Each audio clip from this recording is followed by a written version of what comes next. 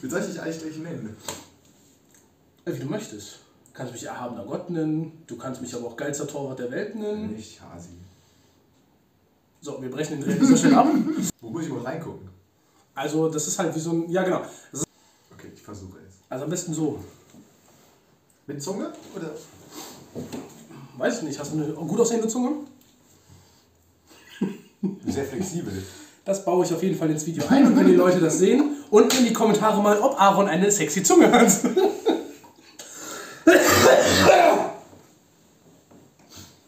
Gut. Gute Einleitung ins Video. Und damit hallo und herzlich willkommen zu einem etwas anderen Video, einer ja, kleinen Interviewrunde. Stamm ich nicht so von der Seite an. zu einer kleinen Interviewrunde. Und zu Gast habe ich heute bei mir den Aaron. Aaron hat ein eigenes Buch geschrieben und den kenne ich durch meinen Fußballverein. Und ich habe gedacht, machen wir mal ein bisschen Promotion hier, um sein Buch mal vorzustellen. Und als erstes solltest du dich eigentlich mal vorstellen.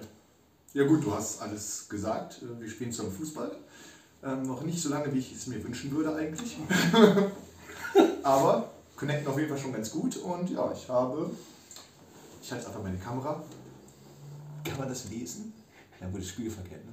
Äh, dieses Buch geschrieben. Es ist äh, ja ein Fantasy-Roman und hat sich eigentlich an dem orientiert, was ich so in meiner Jugend gelesen habe. Jetzt in den letzten Jahren habe ich durch Studium und so weniger Freizeit ähm, und kaum auch nicht mehr so viel ans Lesen, es sei dann eben im Urlaub. Aber Was hast du denn so gelesen als Kind? ähm, ja, so ich habe in Harry Potter mal reingelesen, da wurde ich aber eher gezwungen, vor allem äh, in den zweiten Teil, war jetzt auch nicht so mein, äh, mein Favorite.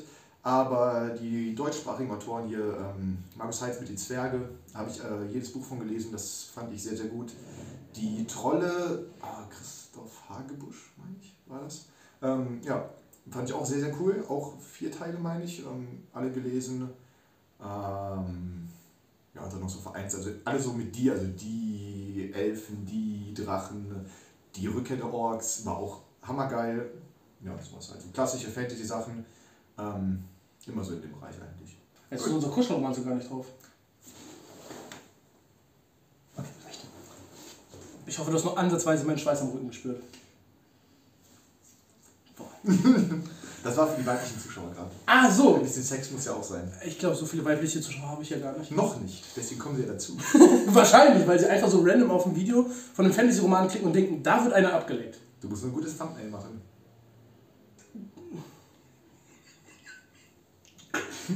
Okay. Okay, worum geht's denn in deinem Buch? Und du hast noch gar nicht den Namen deines Buchs gesagt. Ah ja, stimmt. Ähm, also, der Name ist Foreign, also quasi wie das englische Wort für fremd oder fremdländisch. Ähm, und da es sich um den ersten Band handelt, ist der ähm, Titel des ersten Bandes Zerrüttete Lande. Und ja, das beschreibt auch den Inhalt schon ganz gut. Denn es ist ein relativ simples Fantasy-Setting im Mittelalter. Kann man ein bisschen mit Herr der Ringe vergleichen. Nur, dass da die Fantasy-Elemente, die typischen Fantasy-Elemente wie Orks und Elben nicht so eine große Rolle spielen, beziehungsweise diese Völker gar nicht vorkommen. Magie spielt auch irgendwo eine Rolle, aber eher untergeordnet. Und es geht darum, dass das Land ähm, Sargonai ein Königreich ist, eine Insel. Und ähm, ja, der Thronfolger, der König ist verstorben und dessen beiden Söhne sind Zwillinge und die ja, kämpfen um die Vorherrschaft in diesem Land. Und es gibt noch einen dritten Sohn im Bunde, das ist unser Protagonist Vaik. Ähm, so würde ich den aussprechen. VYK. V-A-Y-K. Okay. Ähm, genau, also mit einem W am Anfang.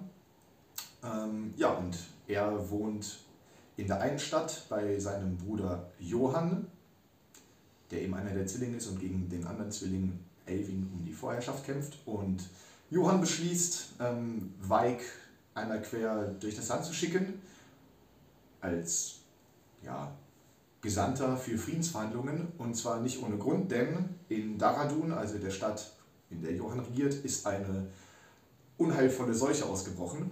Und die droht mit der Zeit langsam aber sicher das gesamte Königreich ja, in den Untergang zu treiben. Und das sollte man verhindern. Und deswegen wollen sie ein Gegenmittel finden. Und dafür müsste erstmal Frieden herrschen im Land. Und das ist Weigs Aufgabe. Und wir begleiten ihn auf seiner Reise und auf allem, was er da erlebt. Und du hast jetzt gerade gesagt, das ist Band 1. Wie viele sollen kommen, beziehungsweise wie vielen arbeitest du schon? Wie weit bist du da? Ja, also ich hatte jetzt schon angefangen mit dem zweiten Teil. Die Entstehungsgeschichte ist etwas kompliziert, da kommen wir vielleicht dann ja auch noch gleich zu, aber ähm, es gibt mindestens zwei.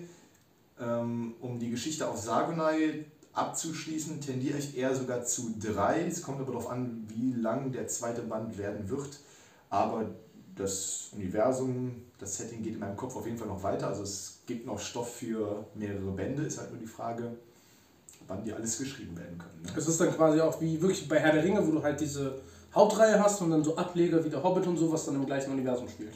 Äh, nee, das nicht mal, aber ähm, Weig ist jetzt ja auch nicht so ähm, ein älterer Herr, sondern er ist noch in der Blüte seiner Jahre, sag ich ah, okay. mal. Also kann einiges noch erleben.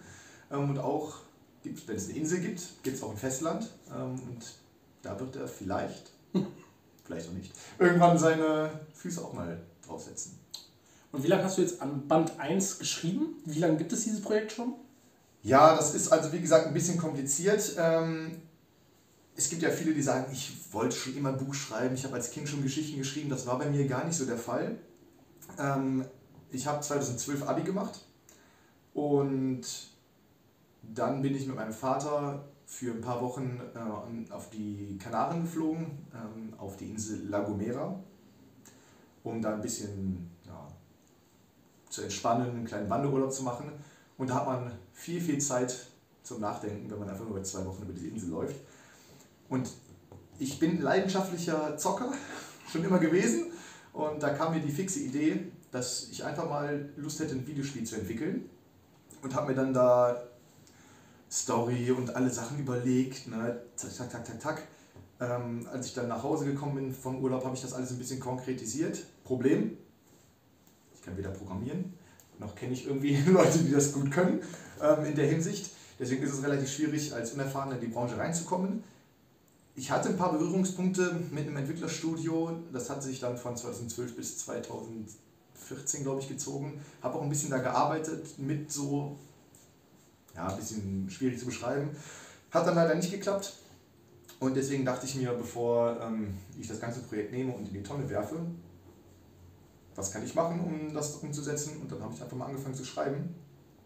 Hat dann vier Jahre gedauert ungefähr. Also 2014 habe ich, glaube ich, wirklich erstmal in die Tasten gehauen. Bis 2018, da war ich dann so weit fertig. Und ja, dann ging es an die Suche des Verlags. Und das war. Und du kannst sagen, wie stellt man sich dann so eine Verlagssuche an, um zu sagen, komm, dieses Buch will ich produzieren?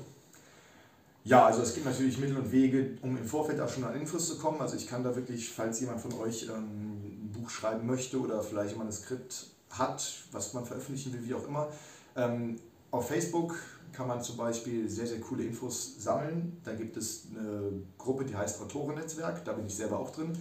Ähm, ihr könnt mich auch gerne auf Facebook anschreiben, wenn es irgendwelche Fragen gibt. Also da bin ich einfach unter meinem Namen äh, Aaron Laser zu finden.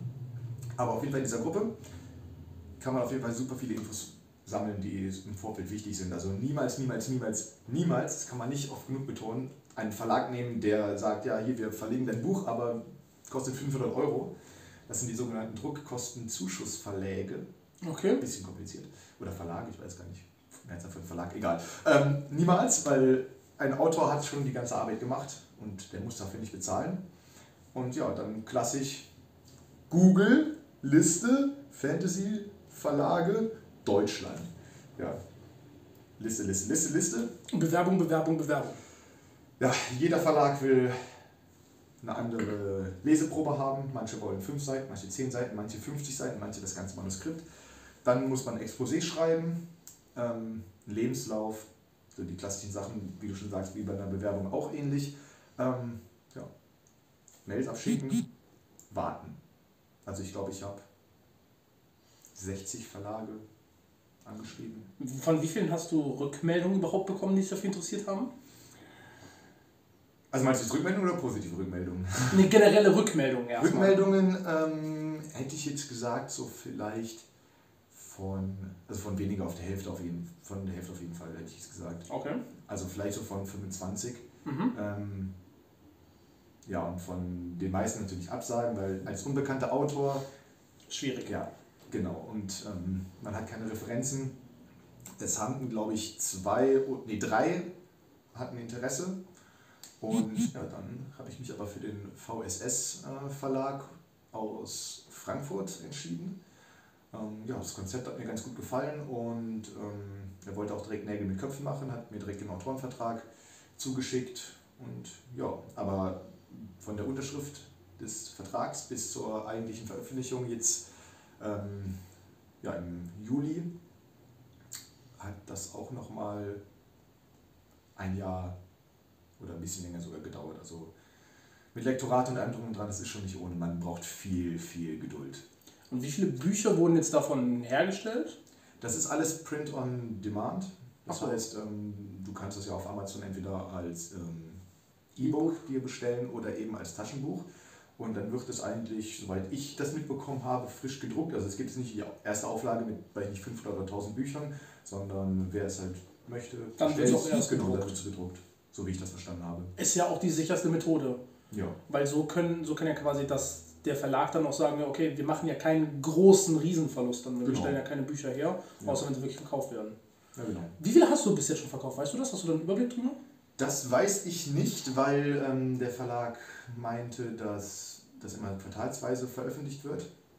Aber ähm, glaube ein paar Dutzend. Ich hatte jetzt letztens noch mal Kontakt mit ihm. Ähm, das heißt, so der nähere Freundeskreis und Bekanntenkreis, die haben das natürlich auch alles mitbekommen und mich da sehr viel unterstützt. Und ja, das Interesse war dann in dem Bereich etwas größer natürlich, die Bücher zu kaufen, aber das Interesse ist natürlich dann auch schnell abgesättigt. Ne?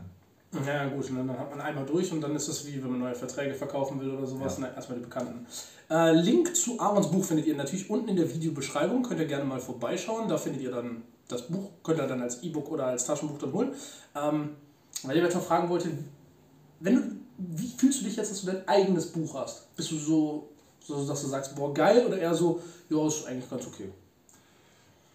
Also ich habe es mir spektakulärer vorgestellt, muss ich sagen. ähm, ähm, arbeitet, arbeitet, arbeitet, weil da sind natürlich auch hunderte Stunden Arbeit drin, ist Ja, klar. klar. Auch immer mit dem ganzen Lesen, Korrigieren, bla bla bla. Ähm, aber ich hätte es mir wirklich euphorischer vorgestellt, aber ich glaube, ich bin auch nicht so der Typ, ähm, der groß euphorisch ist. Klar, es ist ein cooles Gefühl, auch dass, ähm, wenn man die Rückmeldung be- jetzt so langsam bekommt, die ersten Leute haben es fertig gelesen ähm, und die geben einem natürlich dann schon eine Rückmeldung und wenn es ihnen gefallen hat, ist das top. Aber ähm, ja, für mich selber, ich glaube, das finden dann teilweise die Leute in meinem Umfeld, meinem- in meiner Familie, teilweise sogar schon ein bisschen krasser als, als ich selber. Ja, Aber es macht einfach Spaß. Ähm, ja, das ist aber ein cooles Gefühl auf jeden Fall. und wie soll dieses Projekt noch weitergehen? Am liebsten irgendwie später. Ein Videospiel von, ein Film, ein Hörbuch. Ja, also das erste Mal äh, natürlich schauen, wie das auf Interesse der Leute stößt. Ne? Gegebenenfalls, oder eigentlich ist, ich meine, der zweite Band ist schon langsam in der Mache. Ähm, der wird, denke ich mal, auch in der in der nächsten Zeit irgendwann rauskommen, wenn ich die Zeit finde nach der Masterarbeit. Das ist gerade ein bisschen schwierig. Aber ähm, ja, das wird auf jeden Fall ein Band 2 sein und am allergeilsten wäre es natürlich für mich, wenn es wirklich ein Spiel geben würde, weil dann würde sich der Kreis schließen. Ich Dann ja, kommst du dahin, genau, du Ich habe ja eigentlich angefangen, das sollte als Spiel sein. Ich habe auch, wie gesagt, ich als äh, alter Rollenspielzocker, ich habe auch die ganzen äh, Berufe, Klassensysteme, habe ich alles zu Hause, Talentbäume und so habe ich mir alles mal aufgebaut, habe alles äh, gebastelt, nur halt auf Papier, so richtig oldschool. Ja, klar. Ähm, wenn das passieren würde, wäre natürlich äh, bei mir komplett alles vorbei. Also da wäre ich der glücklichste Mensch auf der Welt. ich wollte gerade sagen, dann ähm, sieht das Ganze anders aus. Ja, ich werde auch schon nach Hörbüchern gefragt, nach einem Hörbuch, ähm, weil offenbar Menschen faul sind heutzutage und nicht mehr lesen wollen, die wollen nur noch hören. Ähm, ja, aber ich denke mal, so schnell wird das nicht passieren, weil ich glaube, meine Stimme wollen sich Leute nicht über, mh, ich sage jetzt mal 16, 17 Stunden anhören. Ähm, Ich kenne da jemanden. Glaube, ich muss die gleich mal anrufen. Ich glaube, ich habe seine Nummer. ja, muss man mal abwarten, aber man wird sehen. Ja, also, wenn ihr ihn unterstützen wollt, kostet nicht die Welt, einfach unten in der Videobeschreibung mal schauen. Ich glaube, gerade so kleinen, jungen Leuten, na, jung ist jetzt Auslegungssache, aber ja, also Zielgruppe ist ab 16 aufwärts. Es gibt schon ein paar härtere Szenen, aber je nachdem. Ich habe auch Bücher ab 16 mit 12 gelesen. Also meine Zielgruppe ist wahrscheinlich 12 und spielt zu Hause Call of Duty. Also, Habe ich auch gemacht. Einfach unten in der Videobeschreibung mal abchecken, würde ihn natürlich sehr supporten, gerade so ein aufstrebenden Autor, also kostet nicht die Welt. Einfach mal reinschauen und ähm, falls es für ihn okay ist, würde ich ihn auch mal Facebook-mäßig unten in der Videobeschreibung verlinken. Falls ihr irgendwelche Fragen habt mit Verlag oder so, könnt ihr dann bestimmt mal auf ihn drauf zukommen. Da freut er sich bestimmt auch. Ja, klar, easy. Ich bin immer sehr hilfreich. Alles cool. sehen wir dann, wenn, wenn er euch antwortet mit Verpiss dich! nee, aber ansonsten glaube ich, habt ihr alle wichtigen Infos. Ähm, wie gesagt, wenn ihr das Projekt reinschauen wollt, definitiv unten in der Videobeschreibung. Dann danke ich für deine Zeit. Ich danke dir, dass Und ich hier sein durfte. ja, auf dieser wunderschönen Couch. Ja. Ähm, vielleicht mal schauen, ob es äh, irgendwas Podcast-mäßiges noch mit ihm gibt, um mal ein bisschen tiefer in die Szene reinzukommen. Aber gerade mal zur Vorstellung, glaube ich, ist das eigentlich der perfekte Zeitpunkt gewesen. Und dann würde ich sagen, sehen wir uns beim nächsten Video wieder. Und ich sage ciao. Und bis dann, hast du noch Worte? Nö. Alles gesagt. Perfekt. Nö.